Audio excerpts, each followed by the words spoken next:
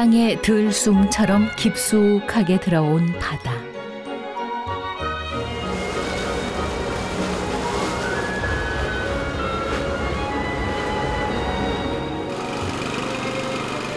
얼마든지 양식을 얻을 수 있다 하여 그 이름 등량입니다.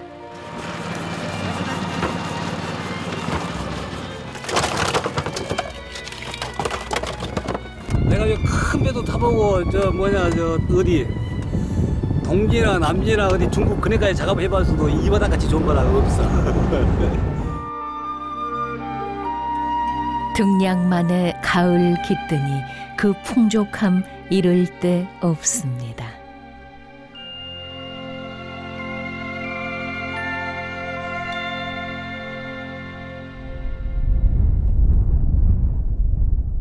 기름진 들판과 아늑한 바다가 사시사철 곳간을 열어주는 곳.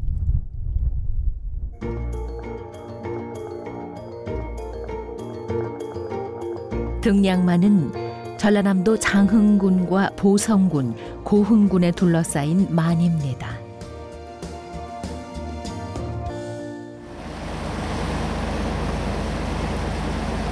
이 가을 쉴 틈이 없습니다.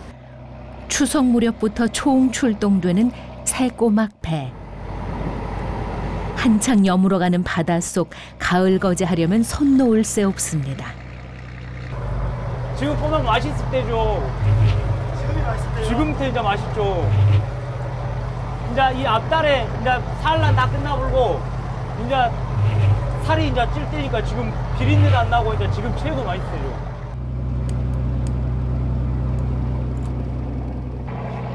그 최고의 맛 거두어 드리려면 이 끓그 물이 필요합니다.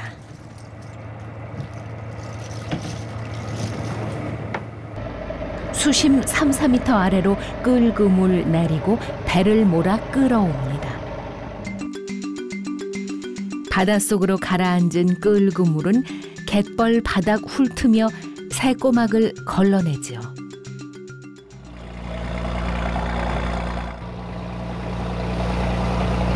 묵직하게 걸려오는 그 물.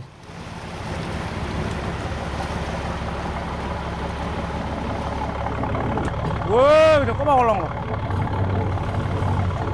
우와. 이렇게 올라와야 기분이 좋지. 이게 손맛이야, 손맛.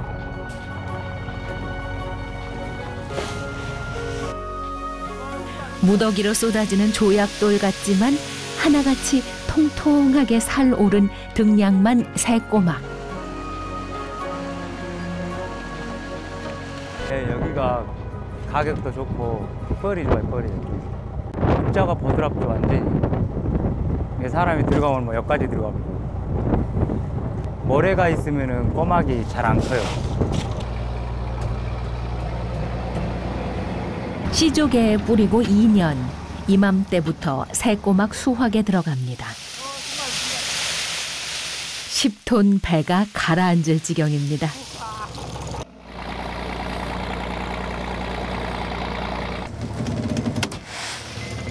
버텨내지 못하고 터져버리는 그물. 와, 줄다 터졌다. 와, 막 배고파지겠네, 배고파지겠어. 배를 집어 삼킬 태세지만 오늘만 같으면 새꼬막에 파묻힌 데도 웃으며 들어놓을 듯합니다. 그야말로 대풍작입니다. 일터 전에 일단 내가 묵고 살아야 될 곳이니까 여기가. 그러니까 그냥 나오면 기분이 좋은 거죠. 네 시간여 행복한 사투를 끝내고 돌아갑니다. 그 보상은 배를 덮은 수확물.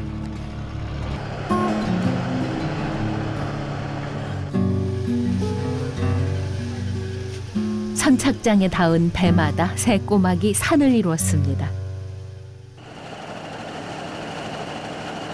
가을부터 찾는 사람들이 많아 바로 바로 팔려나갑니다. 각지에서 온 차들이 코앞에서 대기하고 있지요. 하루 마무리는 두 말할 것도 없이 새꼬막입니다. 간도 안 하고 바로 삶아낸 새꼬막.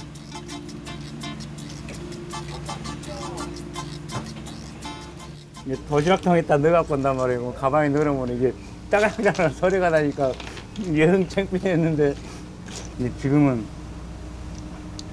오뎅 햄보다는 꼬막꼬막하니까 더 맛있고. 꼬막같이 맛있는 게 어디 있어요?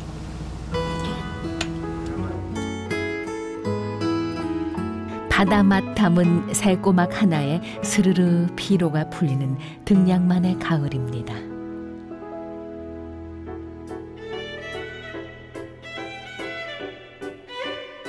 등량만 들판도 두둑하게 가을을 맞아들입니다.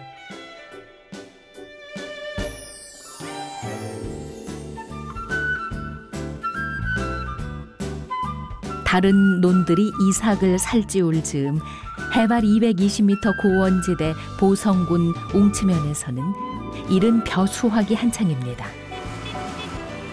잎새가 아직 푸릇하지만 이 벼는 지금 뵈야 가장 맛있습니다.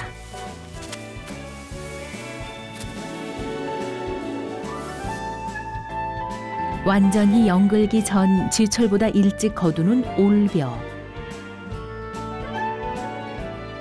보릿고기 때 쌀은 안 나오고 또 배, 배는 고프고 보리만 먹을 수는 없잖아요. 그래서 특히나 추석 때가 가까워지면 조상님께 차례를 지내야 되는데 쌀이 없기 때문에 이것을 삶아서 쌀을 만들게 되면 쫀득쫀득하니 맛있거든요.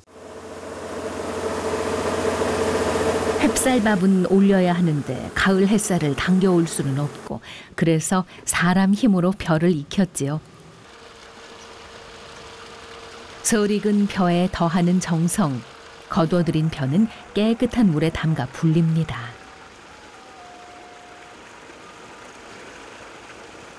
그 할머니들, 어머니들이 찰밥을 찔- 만들 때도 초저녁에 담궈 놨다가 새복에 쌀을 건져 놔서 물 쪽 빠진 다음에 시루에 안 치거든요.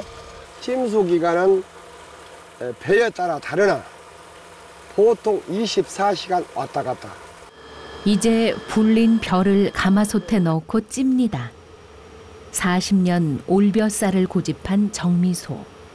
보통은 일반 벼로 올벼쌀을 만들었지만 웅치면에서는 따로 찹쌀 품종을 씁니다. 이게 그냥 일반 배는 에, 아무리 쪄도 붙질 않아요. 버슬버슬 하는데 이 진찰배는 이렇게 붙, 붙지 않아요. 이 정도면 잘 된 겁니다. 올뱃살이 구수하게 나오겠네요. 잘 됐어요. 예전 찐 올벼 밖에서 말릴 때면 종종 가을 장마가 져 농부들 애간장 어지간히 태웠다고 합니다.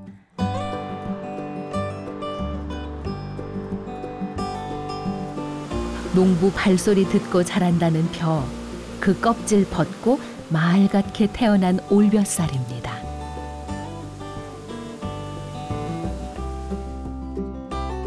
올벼쌀은 일반 쌀에 비해 노르스름한 빛이 도는데 입에 물고 천천히 씹으면 쫀득하니 구수한 맛이 납니다.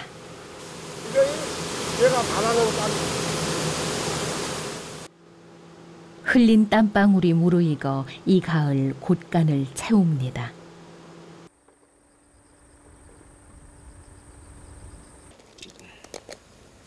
올벼쌀의 별미는 술에도 고스란히 담깁니다. 추석 며칠 전부터 나락을 비우다가 올뱃살을 쪄가지고 조상님들한테 이제 제주 만들어서 올리려고.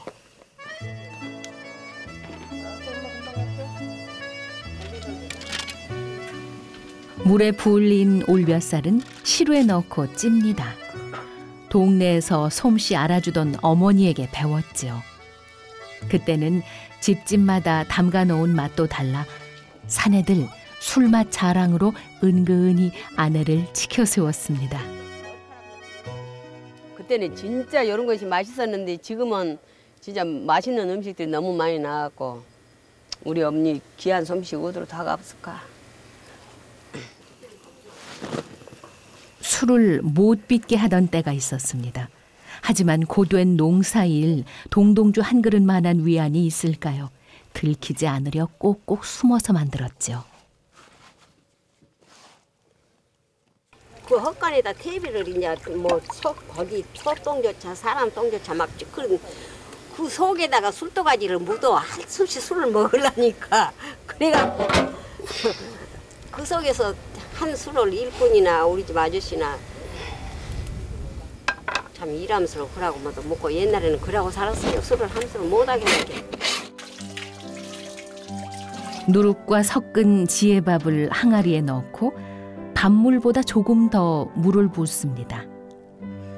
기다리는 정성이 술맛의 반이라 합니다. 일주일 정도 지나면 보글하니 발효 기포 올라오면서 밥알 동동 뜨는 동동주가 만들어집니다. 자 올배살 동동주 잡수시고 항상 건강하십시오 감사합니다. 동동주로 소박한 가을 맞이합니다. 시름겨웠던 여름날이 언제 지나갔나 싶습니다. 가난한 시대에 올벼로 해서 우선 에, 그 뭐랄까 춘궁기를 하여튼 그런 넘기는데 이 올벼가 제일 큰 효자 역을 했어요. 이렇게 같이 거두고 함께 나누는 것으로 족합니다.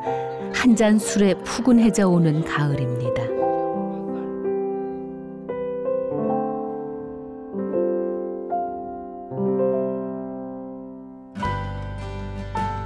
등량만에 낮게 드리워진 구름. 날이 굳긴 하지만 나가보기로 합니다.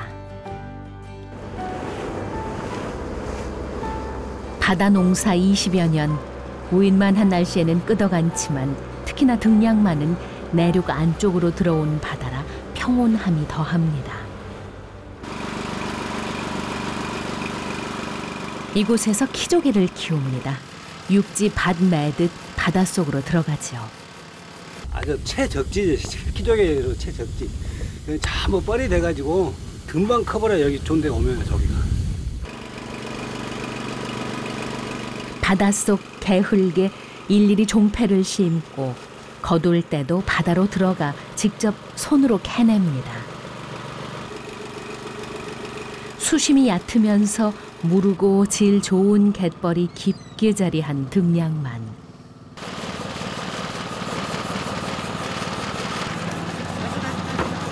다른 곳에 비해 1년 이상 성장 속도가 빠릅니다.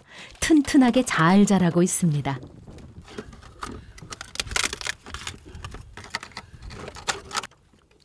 하지만 보여줄 건 따로 있습니다. 바로 진주지요. 조개 채취를 하다가 이제 이게 여러 개 깨져가지고 이제 올라오는데 이 색깔이 너무 아름다운 거야 이게 그래서 야 이걸로 이렇게 이 진주를 이 색깔로 만든다면 얼마나 좋을까 그러고 이제 생각하다가 아 이거 한번 해봐야 되겠다 하는 거이 10년이 세월이 흘러버렸네. 진주는 조개의 눈물이라 합니다. 그 눈물의 보석 얻기가 결코 쉽지는 않았습니다. 10년 세월 실패와 도전의 연속이었지요.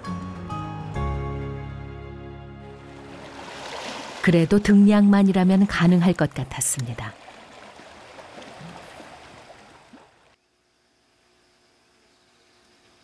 조개는 몸 안으로 이물질이 들어오면 진주질로 감쌉니다. 그 색깔은 조개의 안쪽 껍질 색과 같은데 키조개의 깊은 검은 빛이 흑진주를 만들어내는 거지요. 비옥하고 짙은 등량만 갯벌처럼 키조개 흑진주에는 그윽한 빛이 담깁니다. 뿌리가 심어놔야만이 이게 몸에 불순물이 안 붙고 또 태풍이 불어도 유실될 염려가 없고 다른 바다에서는 아마 조건이 안 맞아서도 안될 거예요 아마 예, 등양만에서만 유일하게 될 수 있다고 난 판단해요.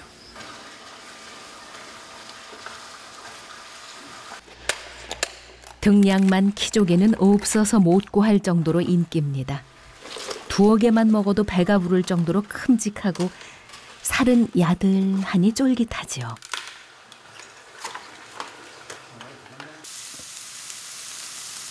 보통은 쇠고기와 함께 구워 먹는다 하는데 키족에는 삼겹살과 같이 먹어도 진미입니다. 이런 호사 아무나 누리나요? 이 맛에 등량만에 사합니다. 한 30년 전에 이 바다에가 뭐 먹고 해먹고 살게 그때 없었어. 그래가지고 나도 서울로 가가지고 서울에서 한 10년 살다 나갔어. 서울에서 뭐 하다 보니까 그 바닷가에 태어나서 바닷가에 사는 놈이 못 살겠더라고. 못 살아. 여기, 바다가 그래워가지고 살 수가 없어. 그래서 살다가 다시 이 보따리 싸고 이 고향으로 와가지고 지금까지 살고 있어. 바다에 깃드니 바다와 닮아갑니다.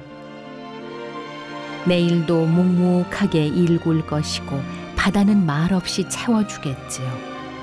그렇게 등량의 가을이 깊어갑니다.